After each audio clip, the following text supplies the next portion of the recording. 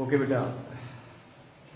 Measuring instruments में measurement instrument जो है, वो आपके, उसमें लास्ट है आपके पास micrometer screw gauge micrometer screw gauge जो है, वो basically that instrument measures small very small diameter very small diameter का मतलब ये है कि फॉर एग्जांपल अगर आपके पास ये पेंसिल है, इस पेंसिल की ये थिकनेस यानी कि ये मैं डायमीटर अगर मेजर करना चाह रहा हूँ तो इस पेंसिल का डायमीटर अगर मुझे मेजर करना होगा तो उसके लिए आप माइक्रोमीटर को यूज़ करेंगे। बिल्कुल इसी तरह से अगर मैं तुमसे कहूँ कि ये मेरे पास फॉर एग्ज़ाम्पल एक रबर बैंड है। करना जरा फोकस रबर बैंड है। अब इस रबर बैंड की ये कितनी थिकनेस है? स्टिक करो उसको तो क्लियर होगा। हाँ सही नज़र आ रहा है। ये देखो, ये इसकी कितनी रबर बैंड की कितनी थिकनेस है? इस थिकनेस को मेजर करना है तो ये भी आपके पास माइक्रोमीटर स्क्रू गेज से मेजर होगा। Micrometer basically very small objects की थिकनेस बताता है इवन फॉर पेपर ऑल्सो कि पेपर का अगर आपको थिकनेस बतानी है तो वो भी आप माइक्रोमीटर से कैलकुलेट करते हैं। Micrometer is more accurate than vernier caliper micrometer vernier caliper से ज़्यादा एक्यूरेट है। माइक्रोमीटर में जब हम बात करते हैं तो माइक्रोमीटर का लीस्ट काउंट क्योंकि ये ज़्यादा एक्यूरेट है तो इसका मतलब है ज़्यादा स्मॉल रीडिंग मेजर कर सकता है। और ज़्यादा स्मॉल रीडिंग मेजर कर सकता है, इसीलिए इसका लीस्ट काउंट है point zero zero one centimetre या मिलीमीटर में point zero one millimetre point zero one millimetre या zero point zero zero one centimetre micrometer को अगर मैं आपको शेप वाइज दिखाऊँ तो बेसिकली ये दिखाना जरा माइक्रोमीटर ये है आपके पास। इसको टच करो तो क्लियर होगा। हाँ ये देखें। अब ये माइक्रोमीटर है। माइक्रोमीटर में, एक मिनट यहाँ देखें। माइक्रोमीटर में, इसको जूम करो क्लोज करो। बस। अब ठीक है। नाउ अब देखो अगर, इसमें तो आपके पास दो स्केल है। एक ये स्केल नज़र आ रहा है तुम्हें। ठीक है? ये जो स्केल नज़र आ रहा है ऊपर, इसको हम कहते हैं फिक्स्ड स्केल यानी मेन स्केल और एक इसके ऊपर ये सर्कुलर स्केल नज़र आ रहा है। टैप करो, दोबारा क्लियर होगा। नाउ ये जो स्केल नज़र आ रहा है आपको, इसको हम कहते हैं सर्कुलर स्केल दो स्केल हैं, एक ये है मेन स्केल और एक ये सर्कुलर स्केल अब अगर मैं यहाँ पर आपको बताऊँ, इस तरफ़ आ जाए जरा। ये फॉर एग्ज़ाम्पल ठीक है? मेन स्केल यहाँ पे लिखा है मिलीमीटर ये ऊपर मेन स्केल है. अगर मेन स्केल देखो तो zero one two three four five और इसके बीच में एक एक डिवीज़न के बीच में डिवाइड हुआ है इसका मतलब अगर ये ज़ीरो है और वन है तो ये वाली रीडिंग ज़ीरो पॉइंट फाइव कहलाएगी अगर वन और टू के बीच में डिवाइड हो रहा है तो ये वन पॉइंट फाइव होगा। टू और थ्री के बीच में डिवाइड हो रहा है तो ये टू पॉइंट फाइव होगा एंड सो ऑन तो नीचे वाला जो है वो हाफ़ डिवीज़न है, ऊपर ये नंबर चल रहे हैं। ये स्केल जो है that is called main scale और ये जो सर्कुलर स्केल है दैट सर्कुलर स्केल इसकी reading comparatively vernier caliper से इजी है.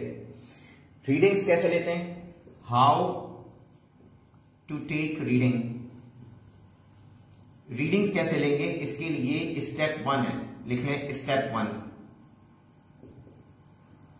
स्टेप वन क्या है? लिखना जरा।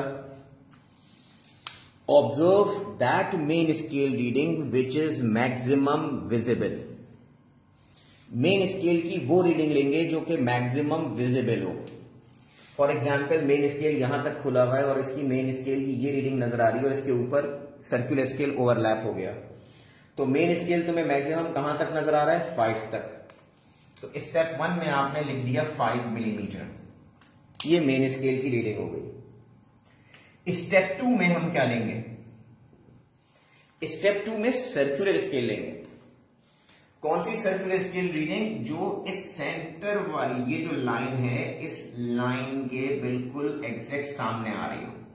ये जो सेंटर वाली लाइन है, याद रखें जरा, ये जो सेंट्रल लाइन रेफरेंस लाइन है, इसको फिजिक्स में हम कहते हैं डेटम लाइन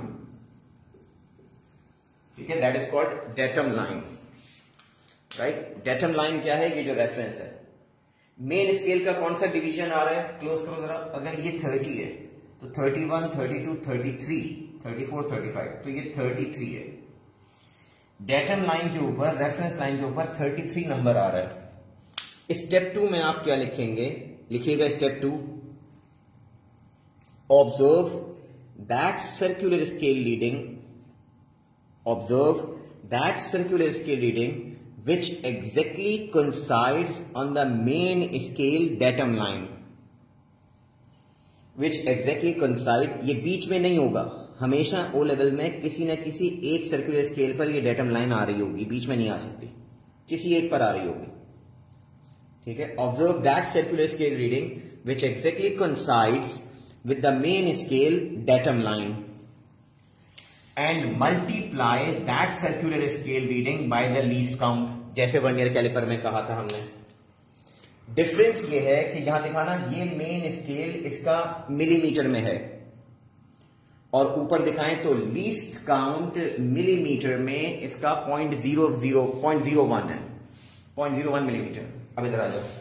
जब आप लीस्ट काउंट को मल्टीप्लाई करेंगे तो आप लिखेंगे इसमें 33 three multiply by point zero one millimetre that is point three three millimetre ये मिलीमीटर हो गया।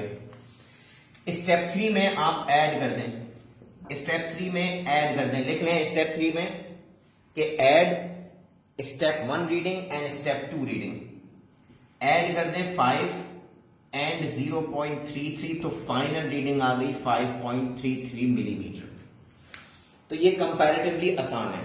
Five point three three reading इसका आंसर आ गया। राइट अब एक और एग्ज़ाम्पल दे रहा हूँ, यहाँ पर आ जाओ जरा। इसको क्लोज करो। अब देखो ये। बस, इधर ही रखना हिलाना नहीं। इसी पोजीशन पर रखें नाउ लिसन अब यहाँ पर आपको वो कहेगा रीडिंग बताएँ। ठीक है? अब आप खुद करें सॉल्व देखें जरा। मेन स्केल की रीडिंग क्या आ रही है? नोट कर लो मेन स्केल क्या है? तुम कहोगे स्टेप वन में मेन स्केल की reading that is called MSR main scale को कहते हैं MSR zero one two three four four maximum नहीं है, बल्कि नीचे हाफ़ वाला भी तुम्हें नज़र आ रहा है। तो ये हाफ़ वाला तुम्हें क्या बताएगा? 4.5 मिलीमीटर इसके बाद circular scale reading C S R कौन सा मैच कर रहा है, ये नोट कर लें।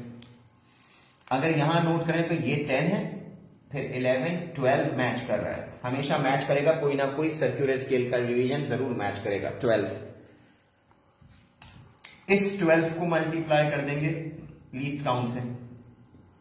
0.01 मिलीमीटर ये आपके पास आ गया 0.12 मिलीमीटर स्टेप थ्री में फाइनली आप ऐड कर देंगे 4.5 को प्लस 0.12 4.5 को जब आप 0.12 ऐड करेंगे तो 4.62 मिलीमीटर इज़ द आंसर ये एक्चुअल आंसर है आपका।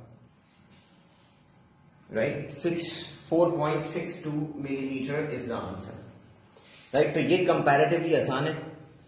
अब आपकी उसी बुक में जो मैंने आपको बुक बताई है बुक वन जो आपके पास है, उसी में अगर आप देखेंगे मेज़रमेंट टेक्निक पहला टॉपिक होगा, जब टॉपिक क्वेश्चंस हैं टॉपिकल क्वेश्चंस हैं, उनमें आप देखना। उसमें आपको ये क्वेश्चंस मिलेंगे इसके सारे। राइट तो आपने वो सारे क्वेश्चंस वहाँ से इसको करने ठीक है? कोई और क्वेश्चन होगा तो आप इसको अगर नहीं समझ में आया है तो आप मुझे जो है वो कमेंट्स में लिख कर पूछ सकते हैं कि क्या है। ठीक है? कोई चीज़ नहीं समझ में आया तो मुझसे कमेंट्स में आप पूछ लें। राइट ये यहाँ पर हमारा ये वाला टॉपिक एंड हो गया, जो मुझे बेसिकली फोर्सेस से पहले तुम्हें करवाना था। एक एक डायग्राम एक एक चीज़ अच्छे तरह से आप अपने पास ड्रॉ कर लीजिएगा बेटा। ओके अस्सलाम वालेकुम